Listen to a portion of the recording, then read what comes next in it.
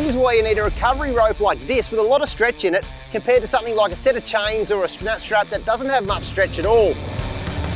When you go through the motion of recovering a stranded vehicle, all that energy that's created through the jerky motion of recovering the vehicle is actually transferred through the strap straight to the tow bar, the recovery points, the chassis, and of course, even the driveline of the vehicle. The Ranger MaxTrax kinetic ropes have a 30% stretch, which is more than most other options out there. This stretch means the rope gradually puts the force on the chassis, significantly reducing the load on your four-wheel drive, while still getting you unstuck. You can also add a set of MaxTrax under the wheels to further reduce the load in your recovery.